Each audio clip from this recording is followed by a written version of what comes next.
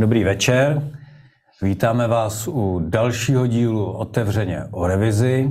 A tak, jak jsme avizovali už v těch předchozích dílech a jak jsme slibovali, eh, průběžně vás chceme seznamovat s tím, jak postupuje naše práce na rámcových vzdělávacích programech. A dnešní téma jsou průřezová témata. Tady po mé levici Markéta Pastorová, což je šéfka týmu. Tak Markéto, představ nám náš tým a Ráda, dobrý večer. Tak eh, já jsem moc ráda, že tady se takhle scházíme nad eh, tímto mm, segmentem eh, kurikula. Já mám průřezová témata moc ráda, přiznám se, to osobně na začátku a jsem tady ráda, že jsou se mnou i kolegové, a to sice paní magistra Petra Skalická. Petro, Dobrý večer. já tě vítám. Děkuji. Je tady vedle mě pan docent Jan Činčera. Dobrý večer. Také tě vítám. No a s námi ještě bude online paní kolegyně, paní docentka Alena Nohavová za průřezová téma PT1 a ještě dorazí také náš jeden pan kolega. A já mám bojový úkol vyzvednout, takže za chvíličku odběhnu ze studia. No a my se pustíme eh, do takového povídání eh, o tom, eh, jak jsme o průřezových tématech společně uvažovali. Je za námi víc než rok práce a musím říct velmi tvůrčí, velmi zajímavé, ale také samozřejmě velmi nelehké, protože to téma je obtížné. Já mám prezentaci, kterou zpracoval eh, pan kolega Filip Dufek. Vy už jste se s tou prezentací, eh, nebo on také zpracovával prezentaci pro klíčové kompetence. A my, když jsme o tom uvažovali, tak pro mě byla i inspirace to, že to vytvářel člověk, který není ze školství, neví o průřezových tématech nic a já jsem přesvědčená o tom, že se byl schopen do nich vžít a dohodli jsme se eh, na tom, že ta prezentace se pokusí názorně a spíš takovou vizualizovanou cestou představit eh, ty podstatné věci. Eh, jak jsem již říkala, máme tady kolegy z našeho týmu. Ten tým původně měl 16 lidí s tím, že nakonec nás zůstalo 14, ale to je, myslím, velký úspěch a byl to opravdu tým pestrý. Eh, kolegové jako Alena Nosková, Jakub Holec nebo Petr Chaluš, tak to jsou kolegové didaktici a garanti oblasti eh, jednotlivých oblastí i oborů a bylo také důležité, že oni celou dobu eh, hlídali to naše přemýšlení právě z pohledu oborů a oblastí. Vy v tom výčtu, té výčtu jmén, tak vidíte kolegy, které, kteří jsou spojeni už s těmi těmi předcházejícími průřezovými tématy, ať už je to Josef Valenta, ať je to eh, Jan Jirák, ale také s metodickou podporou, která v, tom mezidobí eh, vznikala a která eh, naopak možná odstartovala už to nové přemýšlení o průřezových tématech. A je to jak Petra Skalická, tak Jan Činčera ale bylo pro nás důležité, že s námi šli do té věci a do toho přemýšlení i právě zcela noví lidé, kolegové ze škol, eh, kolegové, kteří eh, přinášeli eh, nové pohledy na to, nebo ty neotřelé, aby jsme nezůstali v nějakých stereotypech.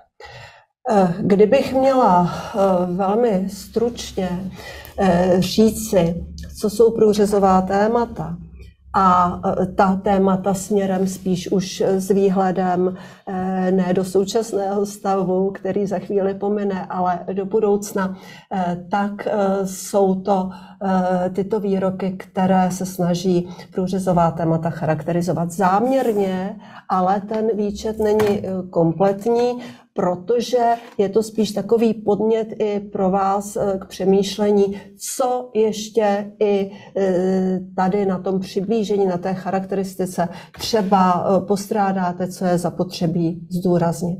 To, co bychom ale mohli říci, že průřezová témata, čím se vyznačují, co je charakterizuje, tak to je to, že nahlížejí skutečnost, nahlížejí svět z různých perspektiv že vedou primárně k přemýšlení o souvislostech.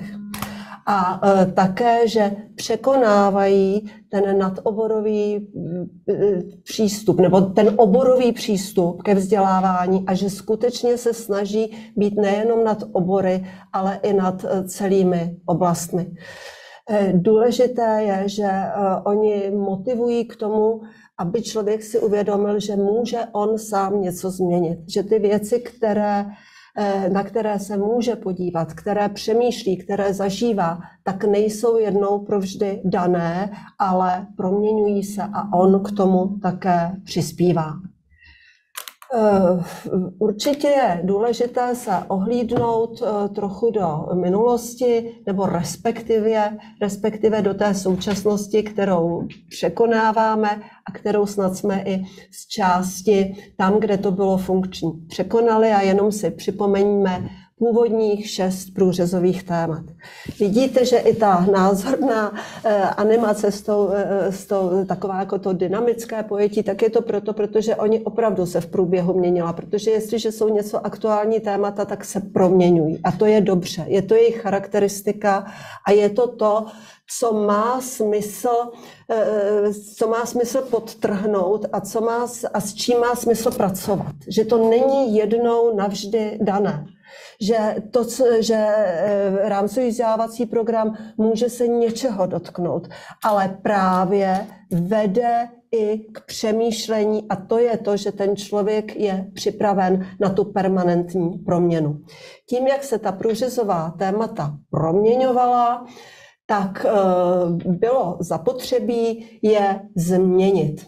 Eh, zadání, které jsme dostali a které bylo definováno jednak v hlavních směrech pro revize, dále potom v zadání pro Národní pedagogický institut, tak eh, ono eh, bylo skutečně pro nás výzvou, protože věděli jsme, že máme aktualizovat obsahy, věděli jsme, že máme aktualizovat tak, aby na úrovni školy bylo možné zachovat i ty stávající formy výuky, a to sice nejenom integrace, ale hlavně i celoškolní, třídní projekty, že i někde může dojít k tomu, že průřezové téma je samostatným eh, předmětem. Eh, co bylo také nové, a přestože to trošku předjímala už ta předcházející metodická podpora, tak definovat obsah průřezových témat očekávanými výstupy. To si myslím, že to je ta největší změna a je to samozřejmě těžké, ale je to něco, co, o čem jsem přesvědčená, nebo jsme všichni přesvědčeni, že školám právě k té realizaci to může velmi pomoct.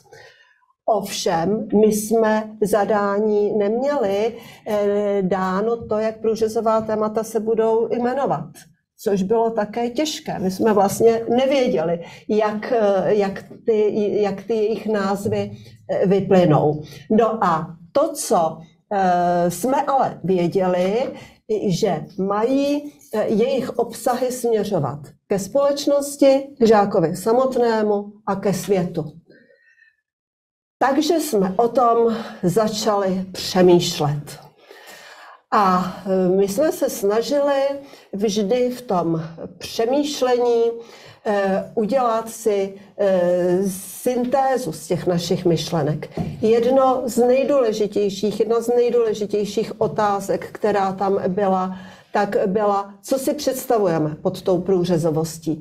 Co, jakým způsobem my vnímáme ty jednotlivé linie směrem k žákovi samotnému, ke společnosti, ke světu.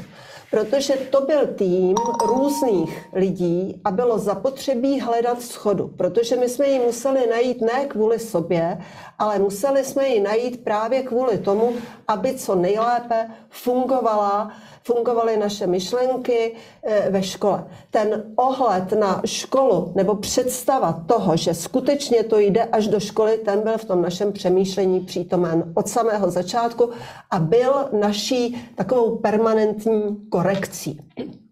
Eh, velmi důležité bylo, že jsme se shodli preambule, na těch hlavních myšlenkách. Tady jenom chci upozornit, že na webu Velké revize eh, CZ, eh, tak eh, tam je, je, mm, je prezentována, prezentován ten návrh koncepce revize průřezových témat a s tou preambulí se tam všichni můžete seznámit. My jsme přesvědčeni o tom, že nezestarala.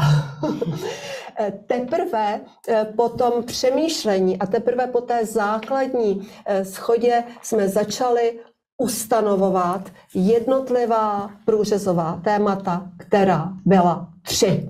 No a po té velké náročné práci a mnohokrát jsme názvy měnili, tak jsme se nakonec dohodli na názvech péče o well-being, společnost pro všechny a udržitelné prostředí.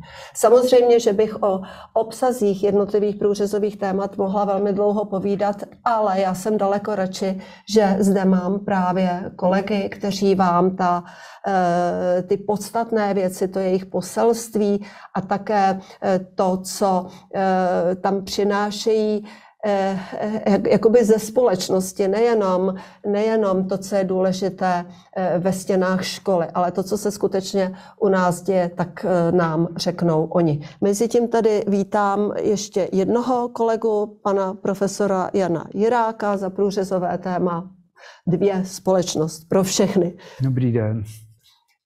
Tak, na co se nyní budeme dívat? Ta eh, definování, eh, definování očekávanými výstupy, to byl právě takový až jako pro nás eh, oříšek.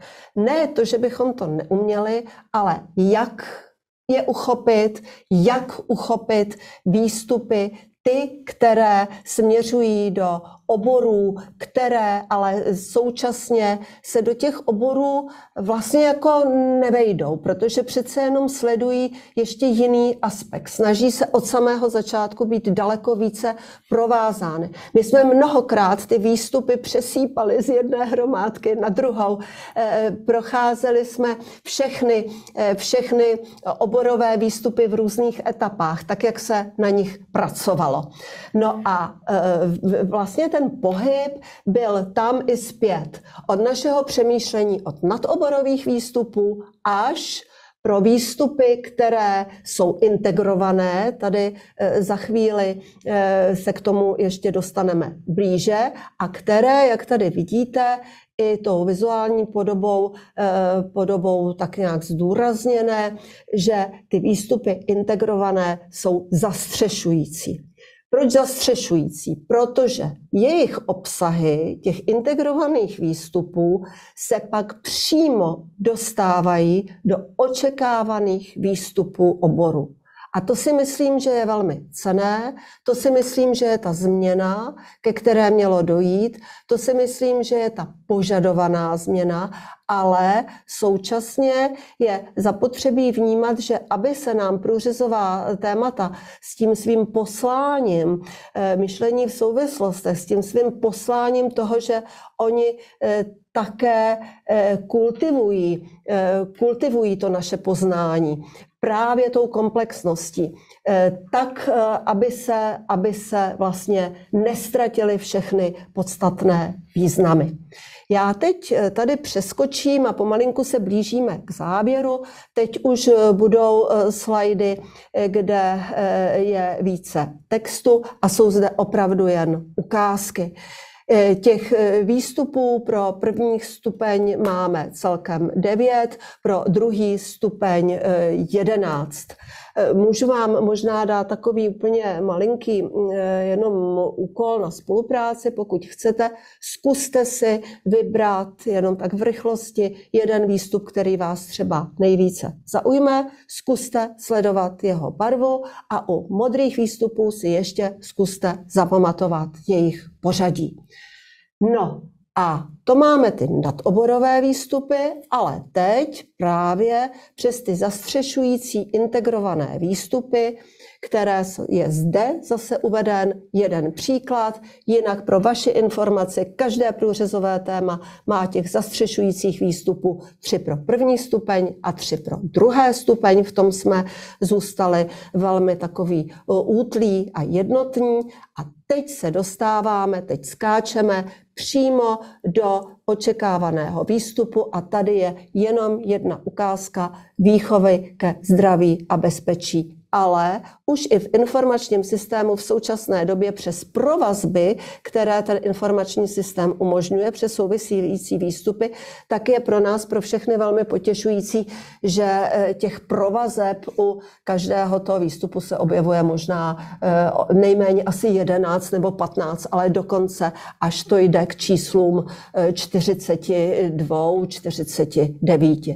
Tady pak vidíme takovou ukázku eh, toho, jaké obsahy z integrovaného výstupu se zase odrážejí například eh, v oboru výchova k občanství,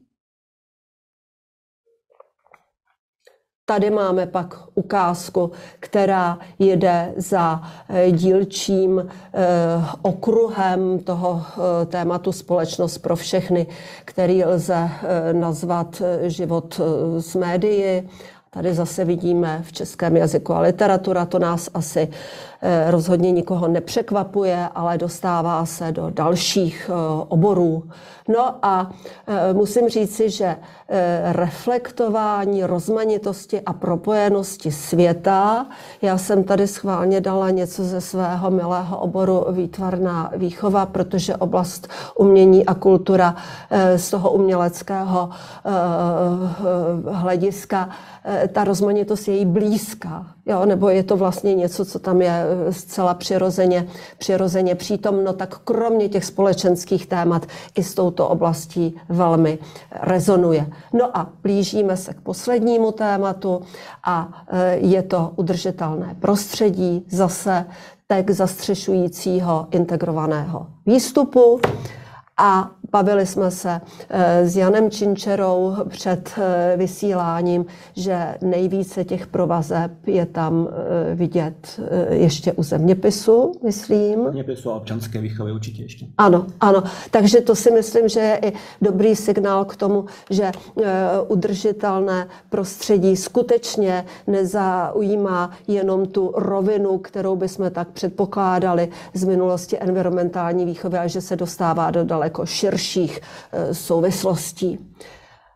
No a zcela na závěr, a tím to ukončím, je to eh, jenom eh, zase schrnutí struktury výstupů očekávaných. A tady jenom jsem na tom chtěla ukázat, že jednotlivé výstupy, jednotlivé jejich celky, ať už jsou to integrované, zastřešující nebo nadoborové, tak právě oni vytvářejí ten důležitý obsah.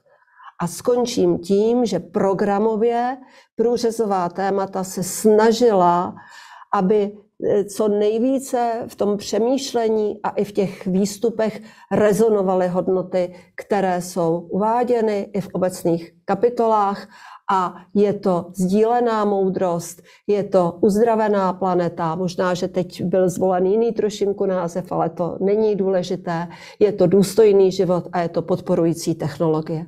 Tak to je za mě vše. Záměrně jsme to udělali takto barevně a názorně. Marketo, já moc děkuji. A teďka já budu se snažit, že ty jsi tam často použila slovo průřezová témata mají poslání, což je jako strašně krásný a jsme strašně jako vysoko. Pojďme si teďka, protože asi ne úplně všichni uh, znají tu terminologii nebo jako jsou si úplně jako jistí, co znamená ten nadoborový a integrovaný výstup a co to vlastně pak jako reálně bude znamenat pro konkrétního pedagoga, případně pro to, pro to děcko, jak se s tím bude vlastně seznamovat, protože tohle je samozřejmě nějaký jako technický postup, tak pojďme si říct, co je integrovaný výstup a jako nějak jako lidský a co je natoborový výstup pro, ano. pro toho pedagoga. Ano a možná, že já bych teď to využila a nechala třeba i prostor pro uh, kolegy, jak oni to no, no. Vnímají. Tak já nevím, Čím Petro? Eh, dobře, tak eh, já začnu asi nejprve možná tím nadoborovým, co mhm. vnímáme jako nadoborové výstupy.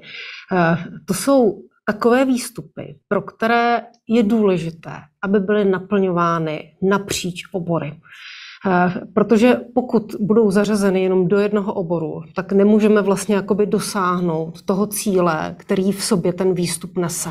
Jo, a opravdu pro naplnění je potřeba, aby se tomu věnovalo napříč. A ještě bych chtěla říct, že vlastně vnímám ty nadoborové výstupy jako takové, které se i velmi silně promítají do kultury školy, které se vlastně realizují v projektovou činností nebo třeba i právě nějakými jako integrovanými, v integrovanou tematickou výukou uh-huh. a podobně. Uh-huh.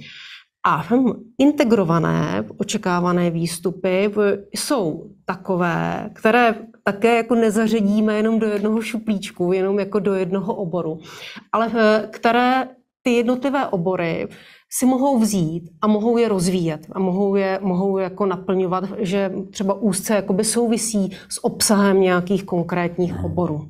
Aha. Tak eh, Snad takhle to je srozumitelné i učitelům.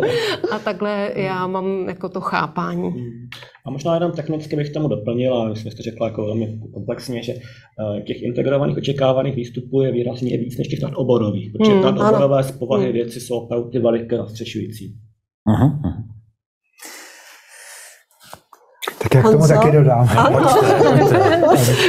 Zpřesníte nebo? Ne, ne, ne, jenom dodám ještě jeden pohled na to, ty, které jsou integrované do oboru, vlastně můžou být eh, dvoucestné.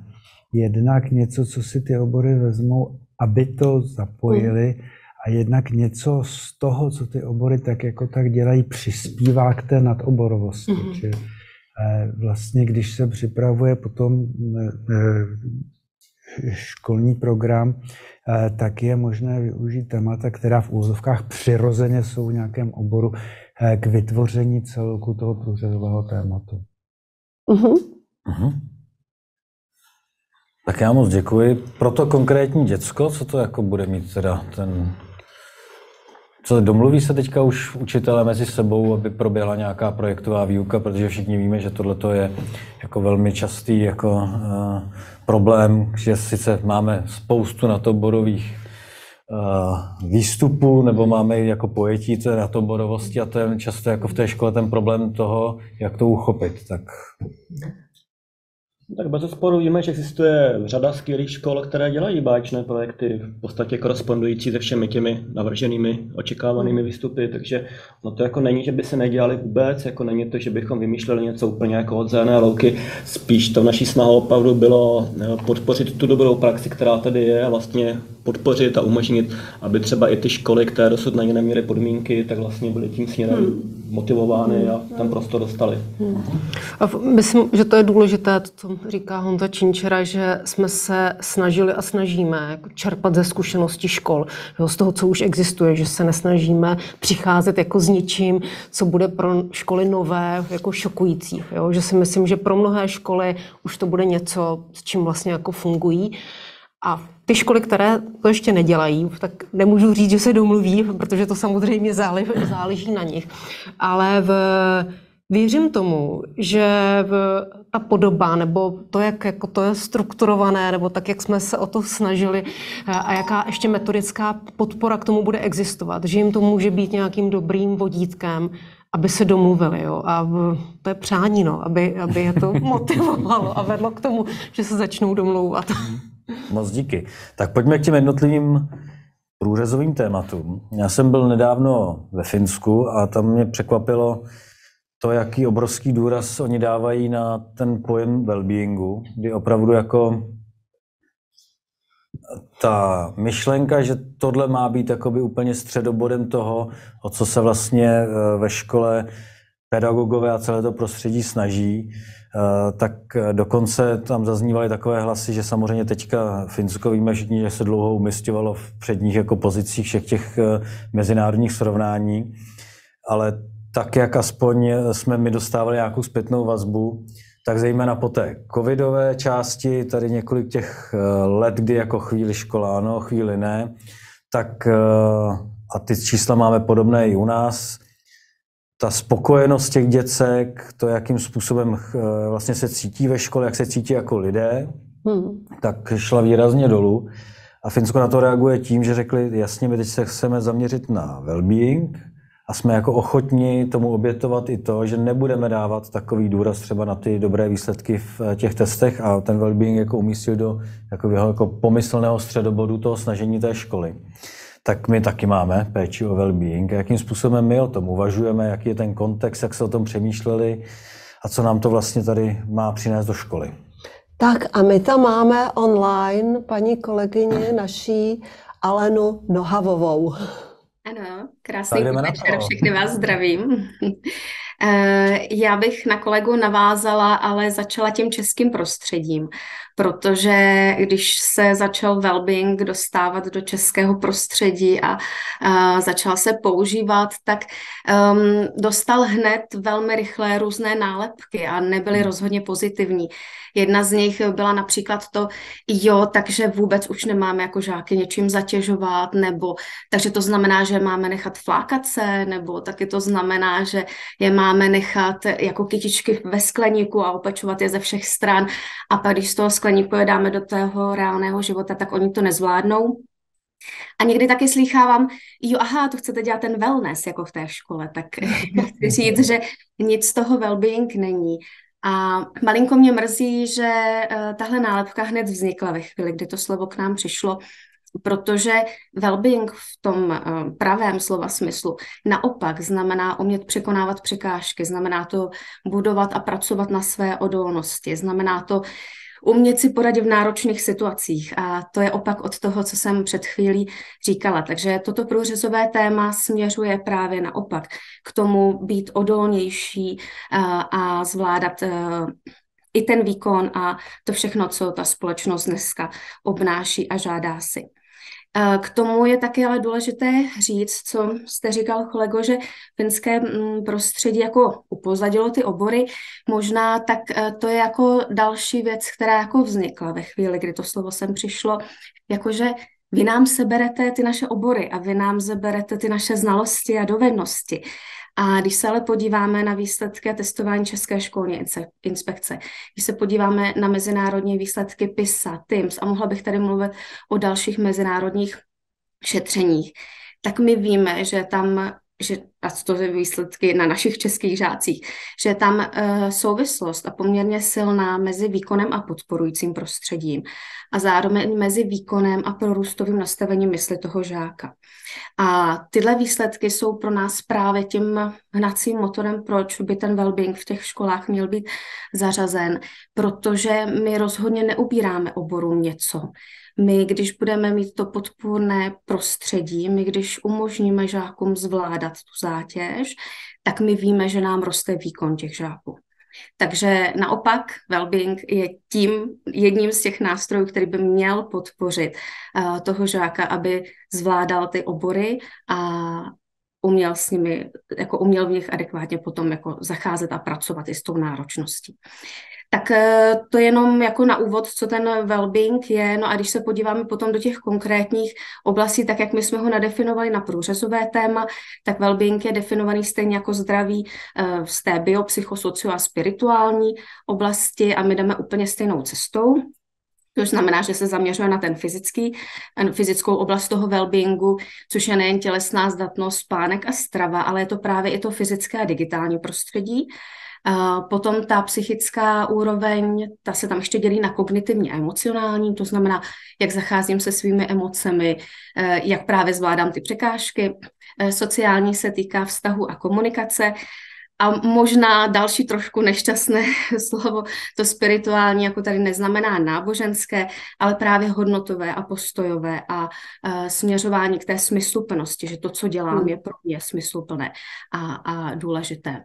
No a takto my jsme postupovali, když jsme definovali uh, jednak ty nadoborové výstupy, které vím, že teď asi možná pro některé složité jako pochopit tu celou strukturu, když ty výstupy teď nevidíte před sebou, a i ty integrované. To znamená ty, co jdou za těmi velkými projekty, ať už školními nebo třídními, zahrnující všech těch pět oblastí, o kterých jsem mluvila, eh, toho well-beingu, včetně teda té, toho digitálního a fyzického prostředí a zároveň ty integrované, to znamená, berou si jednotlivé obory, podle toho, jak to potřebují ke svým výstupům, že na nich dál pracují. Tak eh, tolik asi v souhrnu k tomu eh, prvnímu průřezovému tématu well-being. Mhm, já moc děkuji. Společnost pro všechny. Pojďme si říct něco ke společnosti pro všechny a jakým způsobem jsme ji jako průřezové téma uchopili. Tak já to jenom odstartuju tím, že vlastně to téma společnost pro všechny je opravdu jako nejobsažnější, jo? protože do něho se eh, kromě těch nových témat, tak se vlastně vlila ta stávající tři témata mediální výchova, výchova k myšlení v evropských a globálních souvislostech a multikulturní výchova, ale současně musela ten stávající stav překonat. Ještě bych doplnila výchova demokratického občana. Ano, ano. A eh, možná, eh, že i eh, jsou mezi vámi učitelé, kteří si třeba mnohdy říkali, říkají, že jako tyhle ty průřezová, současná průřezová témata, vlastně stále ještě současná, když my už o nich mluvíme v minulosti, tak že se třeba v mnohem překrývají. Takže pro nás tady byla i velká výzva se vlastně společně jakoby domluvit a, a najít jako ta společná, společná nějaká pojítka. A eh, já bych se možná vrátila i k tomu, když jste eh, zmiňovala, Markéto, že ta průřezová témata mají nějaké poslání a když vlastně jste i vy mohli vidět, že jsou to témata, která jsou aktuální v dnešní společnosti, která nějak jako hýbou tím světem a zároveň si myslím, že to jsou jako témata, kterým bychom se měli věnovat nebo kterým, kterými i prostě žijeme dnes. A jedním z nich je to, jakou vlastně tu společnost chceme mít. Hmm. A to bylo naším důležitým východiskem, protože považujeme jako za hodnotu, když ta společnost je soudržná, když je spravedlivá, když je demokratická, když je mírová. A zároveň vlastně jsme pracovali nebo pracujeme i s tím, jaká ta společnost dneska je, že ta společnost je nesmírně rozmanitá a to v mnoha ohledech, ať už jakoby v ohledech eh, národnosti, věku, genderu, eh, socioekonomického statutu a tak dále, to bych mohla pokračovat. Zároveň ta společnost je charakterizovaná v překotným vývojem technologií. Jo? Máme tady takový jakoby dvousičný technologický pokrok, se kterým si musíme nějakým způsobem poradit. Takže z tohohle, z toho všeho jsme vlastně vycházeli. A v, chceme, aby tohle průřezové téma pomohlo žákům připravit se na život v takové společnosti, aby žáci měli příležitost, eh, možnost jako uspět, zažít si ten úspěch. Hmm. A eh, aby si ho mohl zažít opravdu každý, tak ta společnost tady musí být opravdu pro všechny. Proto vlastně tady ten název jako společnost pro všechny. A my jsme nakonec po mnoha vlastně debatách a verzích, tak jsme došli k tomu, že jsme si vymezili tři takové tematické okruhy, kdy jeden je demokracie a odpovědnost, kde vlastně ta demokracie a odpovědnost jdou spolu ruku v ruce a kdy žáci eh, zamýšlí, reflektují demokratické principy a procesy. Ale zároveň je jako na všech těch eh, okruzích nebo v celém, v celém tom průřezovém tématu důležité, eh, aby, aby ty procesy mohli žít, aby si to zkoušeli, aby to zažívali v té škole protože se to nenaučí tím, že to budou číst z knížek, hmm. ale že budou prostě něco dělat. Eh, dalším takovým tím okruhem je právě rozmanitost a propojenost světa, kdy žáci zkoumají a reflektují to, jak ten svět je rozmanitý, jak, jaké nerovnosti se v dnešním světě vyskytují a jak vlastně pomoci podporovat a prosazovat rovné příležitosti v současném světě. A také si zvědomovat tu propojenost toho světa, jak vlastně to, co se děje na jednom místě, v jedné lokalitě, má dopad eh, na lidi a na život úplně jako na druhém konci světa a jak to vlastně spolu souvisí, jaké tam jsou právě, jako je to hodně i o hledání a přemýšlení o těch souvislostech. No a eh, pak dalším tím okruhem eh, je život s médií. A tady já bych to asi už přenechala panu profesoru Jirákovi, protože je mnohem fundovanější v té oblasti než já. Pane profesore. A já myslím, že už tady všechno podstatné zaznělo.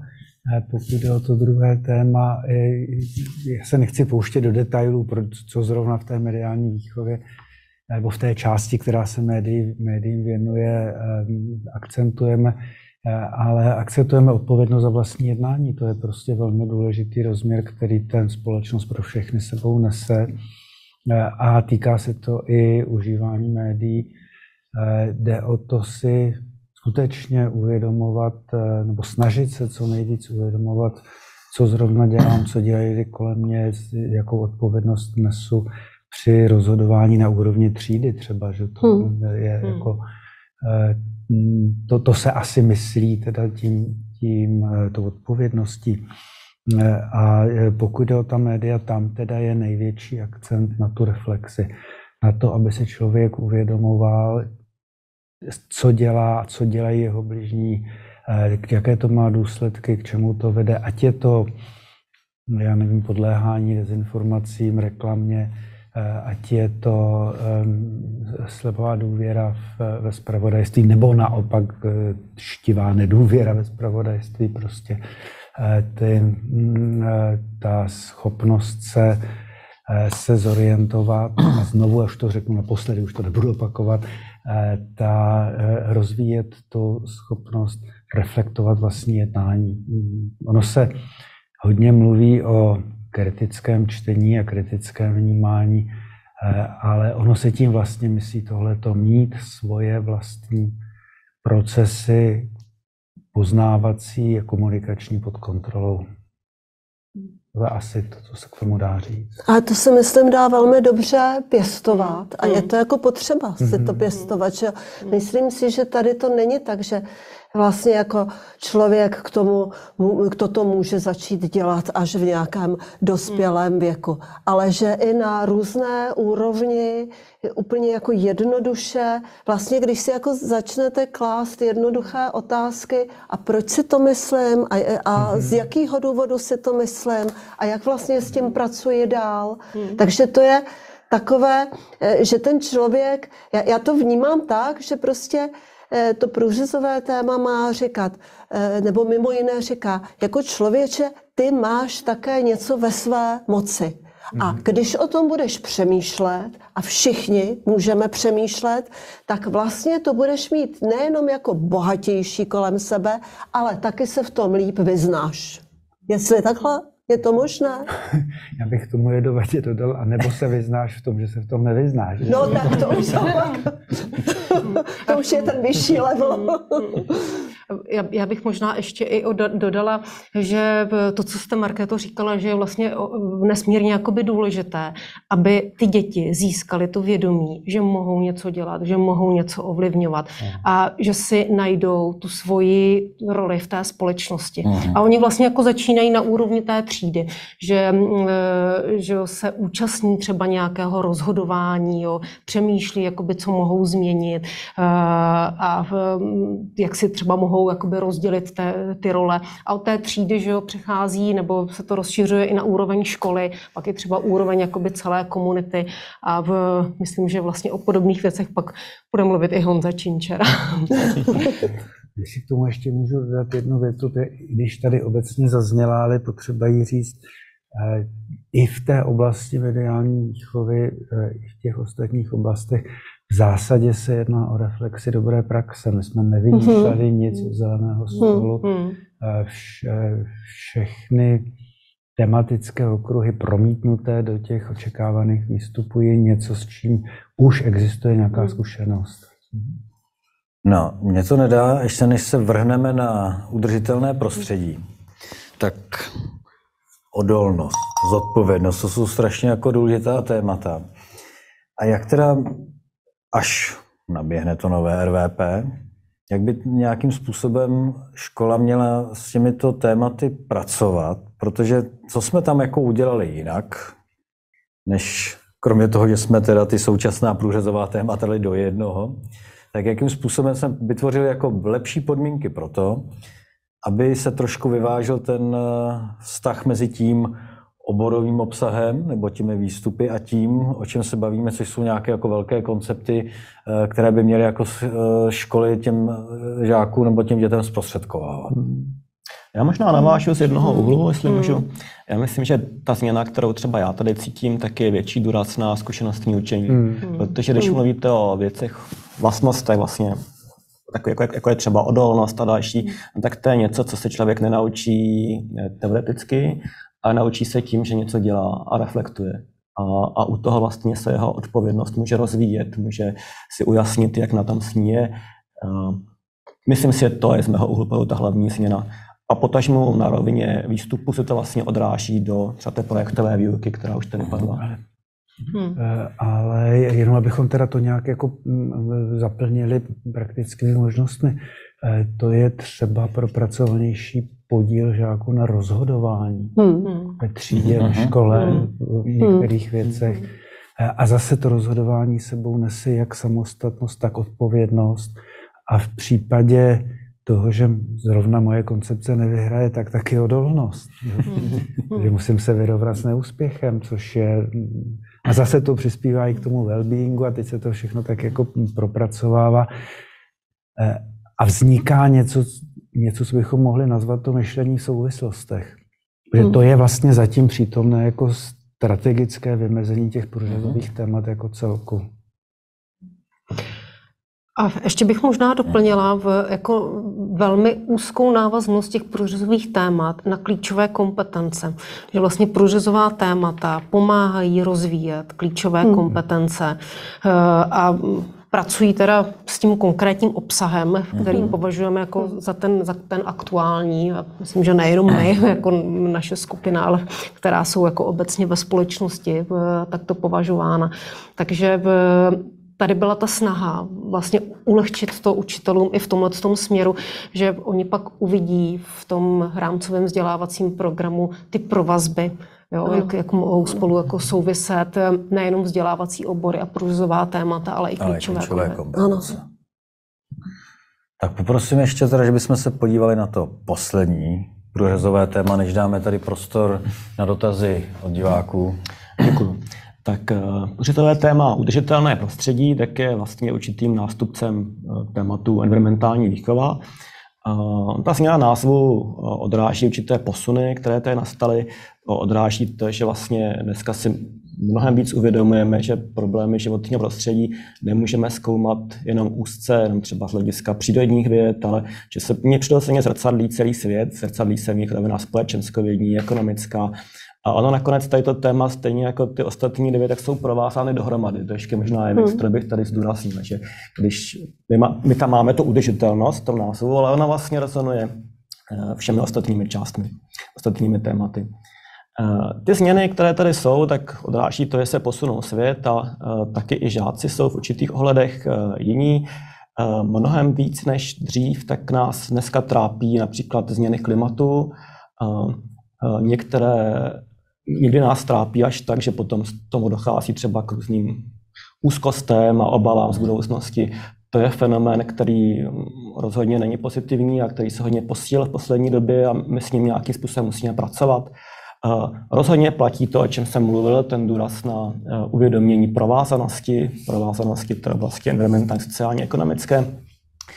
No a e, posunulo se také to, že vlastně ve srovnání s minulostí, tak e, dnes už vidíme z různých výzkumů, že není potřeba přesvědčovat e, dnešní teenagery o tom, že tady problémy jako jsou ty, třeba ty změny klimatu nebo jiné problémy životního prostředí, eh, že tady jsou, protože oni to vlastně vědí. Oni to vlastně hmm. vědí třeba i v sociálních sítích, oni si to uvědomují a oni to i docela hodně prožívají. Když se jich zeptáte na to, do jaké míry souhlasí s opatřeními politickými, které tím směrem vlastně by měly být naměřeny, tak oni s tím souhlasí bych řekl, velmi, velmi výrazně a velmi, velmi většinově.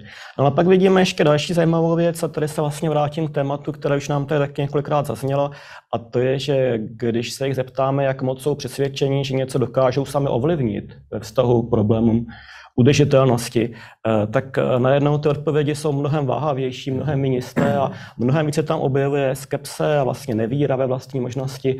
A to je vlastně potom i to, co následně třeba souvisí i s tím, jak eh, ty problémy prožívají, jak se vyrovnávají s tou jejich emoční zátěží, eh, tak třeba s tím, se pak jsou ochotní, ať už jako jednotlivci, nebo ať už členy, členy, členové nějaké skupiny, se zapojit do nějakého řešení, něco konkrétního dělat.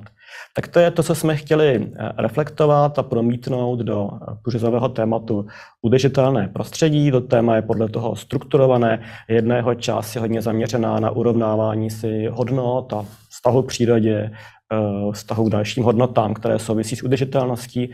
Druhé je právě zaměřeno na porozumění provázanosti jednotlivých problémů.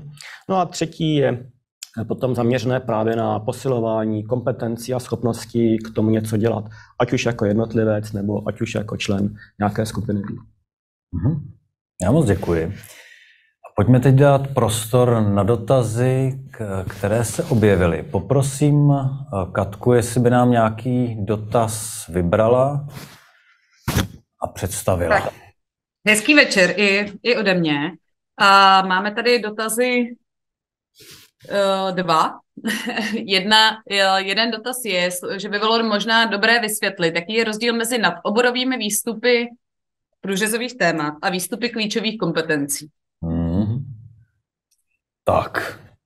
Už, mm-hmm. už Petra už mluvila trošku o té provazbě, tak jestli bychom tohle dovysvětlili. Tak uh, možná, že začnu a kolegové mě doplní. začnu. My jsme o tom velmi přemýšleli jo? a musím říct, že jsme se tím fakt jako zabývali, protože, eh, protože je jasné, že někde ta hranice je úzká.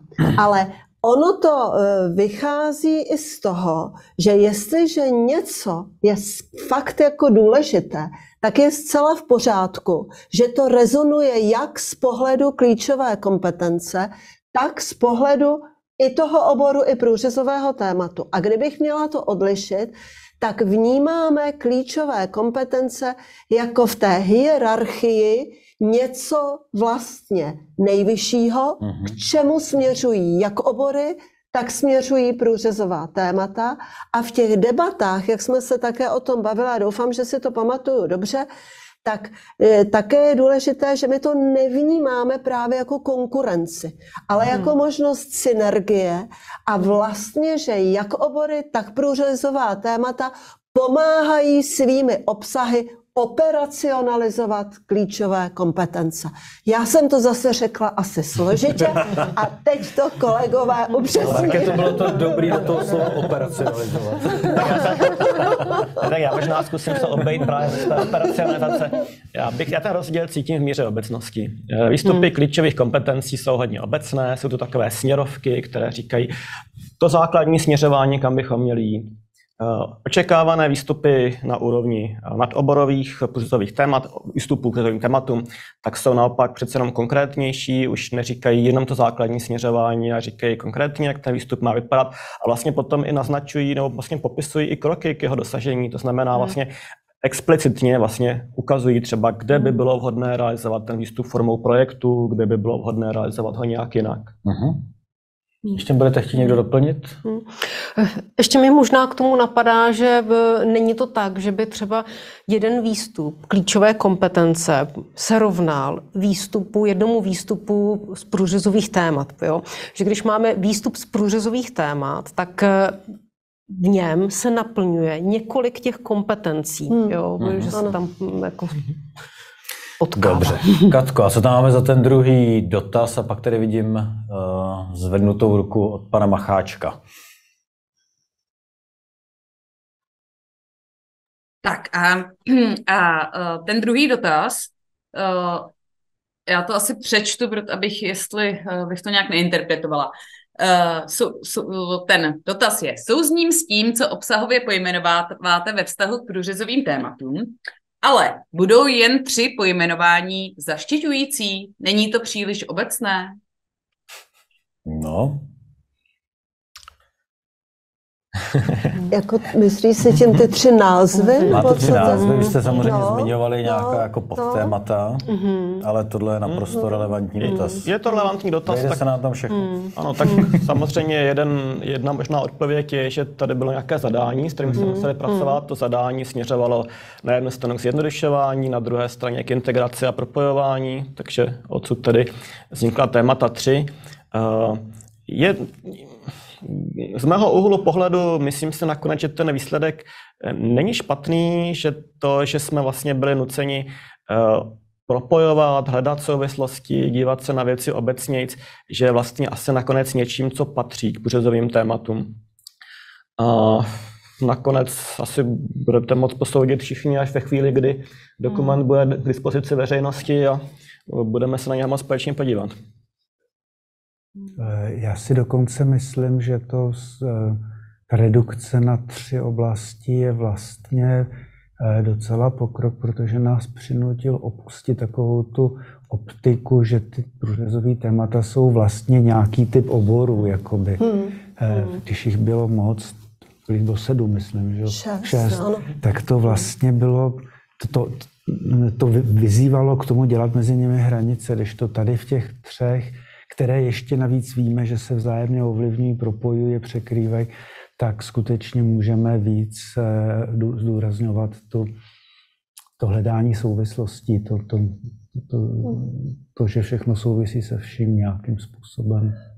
Možná jenom hmm. ještě řeknu, že eh, ano, ale zase současně jsme se snažili, aby to nebylo takový, že všechno souvisí se vším, tak je tam všechno jako možné. No, jo? Že to hmm. opravdu jako hmm. drží se v nějaké celky a že to mají ty celky ulehčit vlastně učitelům přemýšlet právě o tom, co je jako podstatné v té nadoborovosti. A potom ta obsažnost těch jednotlivých průřezových témat ona se uvidí v těch výstupech. Hmm. Jo? A je jasné, že tady byla jenom taková minimální ochutnávka vůbec, aby, hmm. aby bylo jasné, že výstupy tam jsou, že jsme je definovali, ale znamená to se do nich jako zahloubat, přemýšlet o nich a já myslím, že mnohé řeknou. Hmm. Dobře, moc děkuji. A teda poprosím pana Macháčka, jestli nám řekne svůj dotaz. Děkuji pěkně. Slyšíme se? Ano, slyšíme. Ukážete se nám i? Uh, já to zkusím. tak, Krásný. dobrý den. Dobrý den.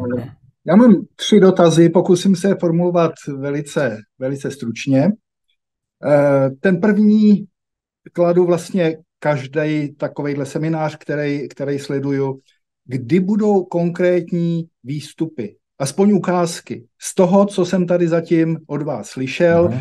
To s tím vším jako se nedá nesouhlasit, jasně, to jsou všechno pravdy, ale tak obecný, že si nedovedu představit, jak, jak prostě kantor eh, ve škole eh, to bude s tou třídou realizovat. Druhá otázka. Eh, mluvíme tady o nějakých jako průřezových tématech.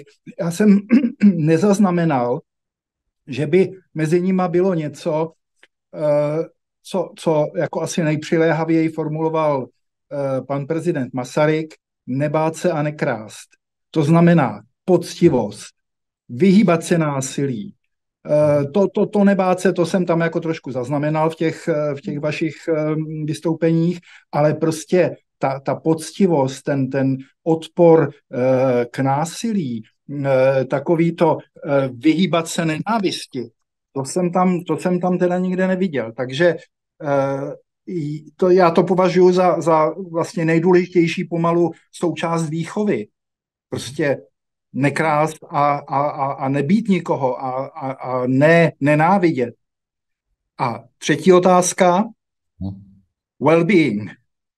Eh, já se vůbec nedivím, eh, co tam říkala paní kolegyně, která o tom wellbeingu mluvila, že tomu, že tomu nikdo nerozumí. Já si to prostě přeložím z angličtiny a znamená mi to, aby se měl člověk dobře, ale to je tak strašně obecné slovo a, a to, to, to, co paní kolegyně zatím jako říkala, co, co, co zatím je, prostě to, to, to jsem z toho fakt nepochopil. A, a, a ta otázka je, proč používáte pro Krista pána takovýhle eh, asi někde odborně velice dobře definovaný termíny, který ale opravdu normální člověk vůbec ne, a, a to nemyslím jako nějakého eh, prostě hospodského povaleče, myslím tím eh, vysokoškolsky vzdělaného člověka, který ale neštudoval zrovna, co je to well-being. Pro Krista pána nedá se to pojmenovat nějak srozumitelněji. Děkuji. Tak moc, moc děkujeme. Já, jestli budete souhlasit, tak bych otočil to pořadí těch otázek a začal bych tím well-beingem. Proč používáme tenhle ten anglický pojem, eh, jestli to teda není spíš teda ten wellness, který nám teďka k tomu. A proč jsme se vlastně rozhodli takhle nějakým způsobem eh, vůbec tím tím termínem a pojmem pracovat a co vlastně jako znamená nějak jako úplně jednoduše formulovaný? Mm-hmm, tak to asi směřuje na mě, tak si dovolím na to odpovědět. Uh, tohle je obvyklá otázka, když to téma představujeme, byla kolem toho velká diskuze, jestli zavést ten český pojem, který není úplně jako adekvátní, ta spokojenost, ono to není spokojenost, a je to pocit spokojenosti spíš, to je jako osobní vnímání. A v českém prostředí spokojenost je tak jako někdy jako spíš jako dát si nohy na stůl a nic nedělat moc.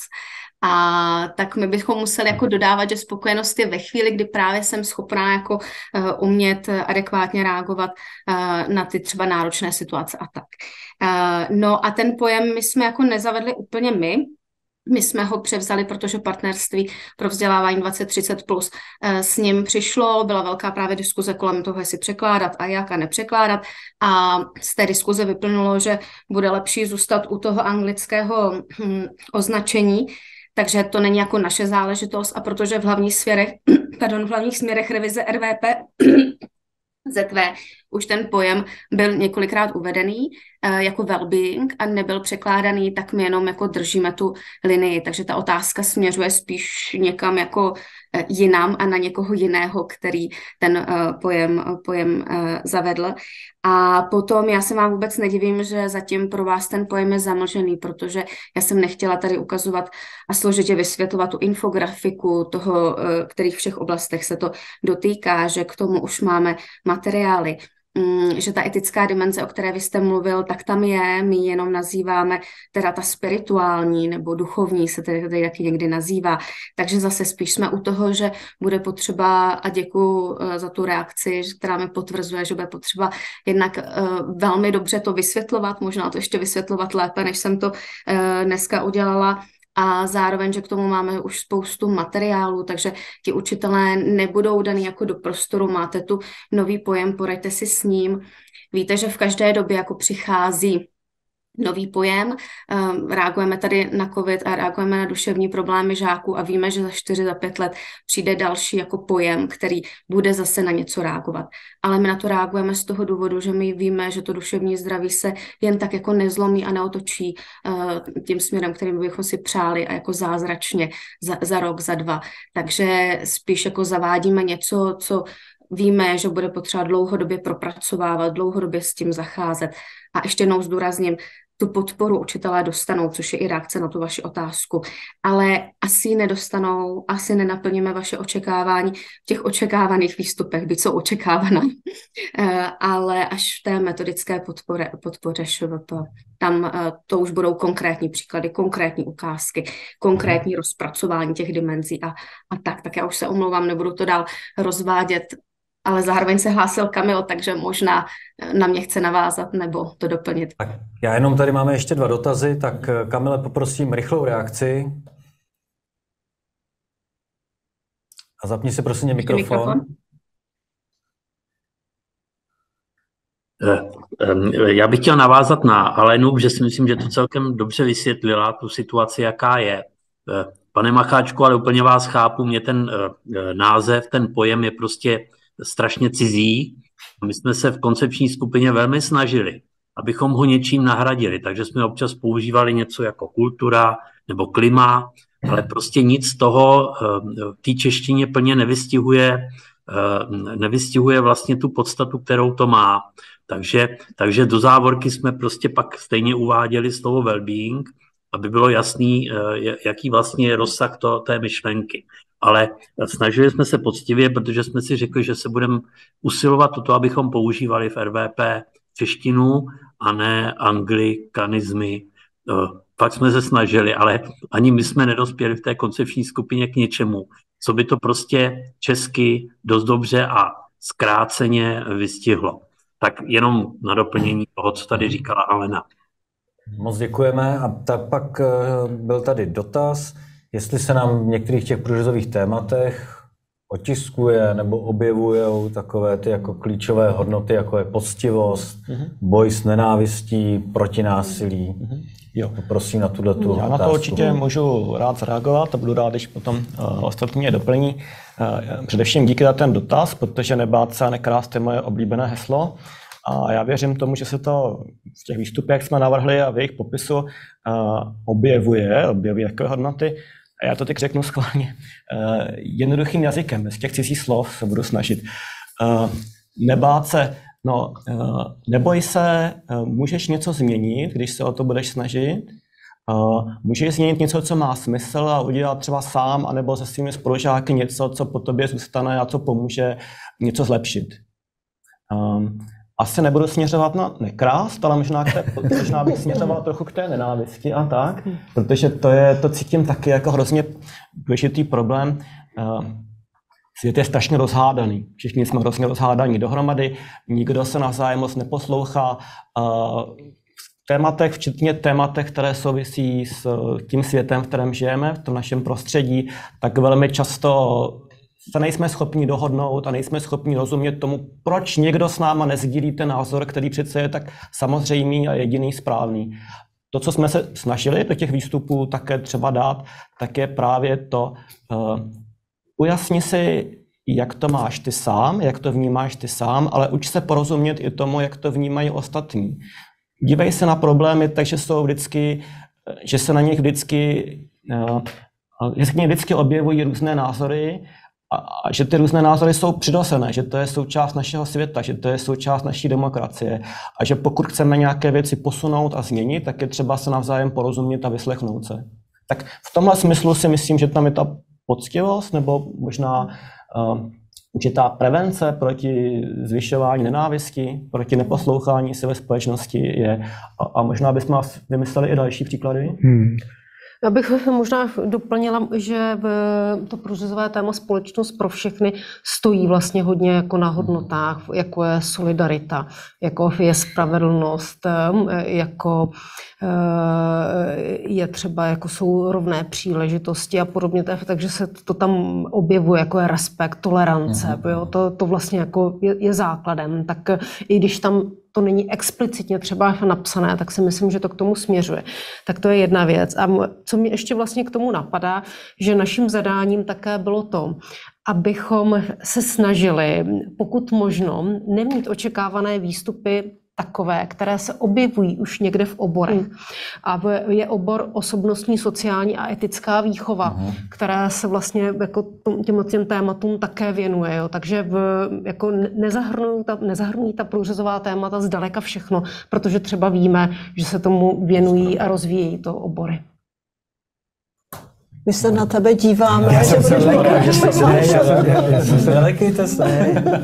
Já jsem nad tím přemýšlel, protože ten dotaz je naprosto skvělý a hmm. nějakým způsobem prostě nasvítil slepý místo v, hmm. v tom mém uvažování. Hmm. A když bych to měl nějakým způsobem vysvětlit, proč, já jsem to, co pan kolega jasně nárokoval, tak jsem bral jako samozřejmý předpoklad.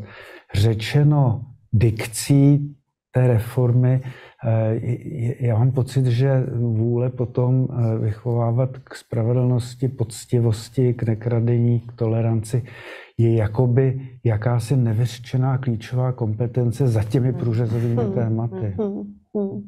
A jinak souhlasím s těmi, kteří jsou, eh, kteří jsou otráveni z existence slova well-being, protože mám pocit, že, eh, že to zkomplikuje život. No, ale já po té, co jsem si už mnohokrát takhle, jak musím pracovat se všemi těmi průřezovými tématy a četla jsem si to, ano, tak musím říci, že naopak docela vzrůstají moje, moje sympatie k tomu. a, to je teďka půl na půl. Takže no, naopak, naopak. Protože jako člověk se s tím zžije. Když má chuť se zžít, tak jako zžije. A jenom ještě jednu možná e, drobnost tady. My jsme, ono, teď jsem si shodou okolností otevřela přímo jeden e, výstup. Zajímá se o situace lidí v obtížné životní situaci, či zasažených konfliktem, zvažuje jejich potřeby, navrhuje možnosti řešení, založených na vzájemné solidaritě, respektujícím soužití. Ano.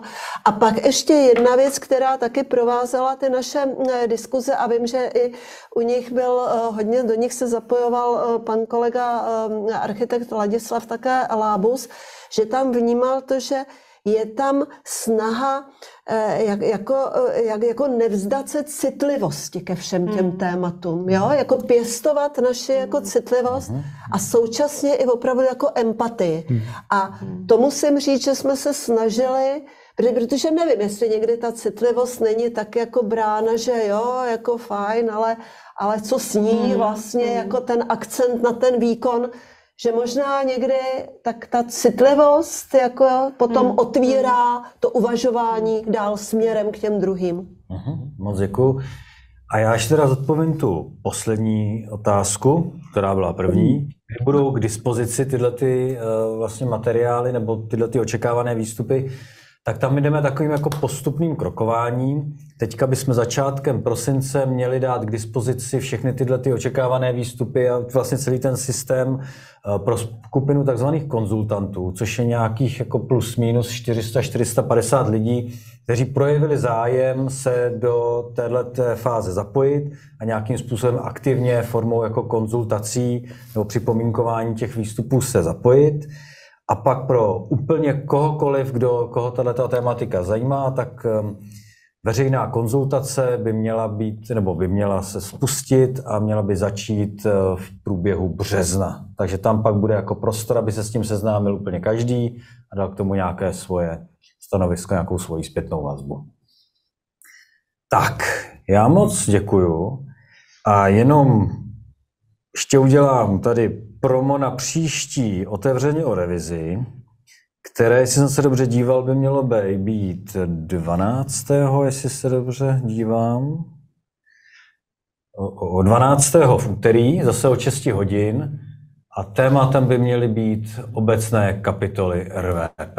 Takže to je taková ta střecha celého toho našeho dokumentu, takže se na to určitě těšte a my se budeme těšit za 14 dní. Tak moc děkujeme. Mějte hezký večer. Naschledanou. Děkujeme, nashledanou.